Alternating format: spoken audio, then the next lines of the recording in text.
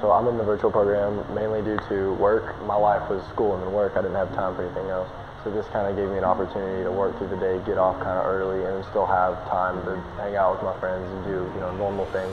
For me personally, uh, I have enjoyed it more than school. I still get to see all my friends, so it's not like I'm you know missing out on that. But you can do it wherever you want to do it, you know, whenever you want to do it, uh, as much as you want to do in that day uh, without having someone constantly on your back about it. When I'm in school, I find it really hard to stay focused for such a long, long time. And my third, fourth period in the past has tended to be my worst grades because I'm just ready to get out. So if they're um, you know helpful for me being I can work as long as I want to until I start to kind of get unfocused.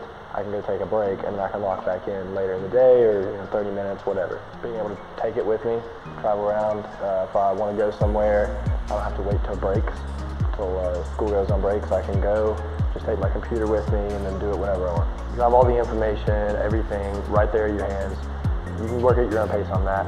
And if you have, if I'm having any trouble, the teachers have a set time throughout the days where I can contact them.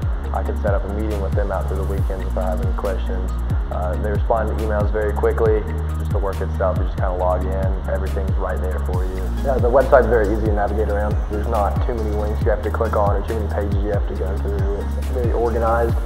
It gives you all the work for the year that you can work ahead as you want just because of some family stuff and I wasn't really able to complete my work. So I logged in, I got accounted for that day when I was free I made up all that work. I just went to my to-do list. It told me everything that I had gotten behind on I needed to do and then what I needed to do for that day and I just did it all. And it caught me right back up. The next day the grades were put in and my grades were back to normal. You know, I've been in school building my whole life.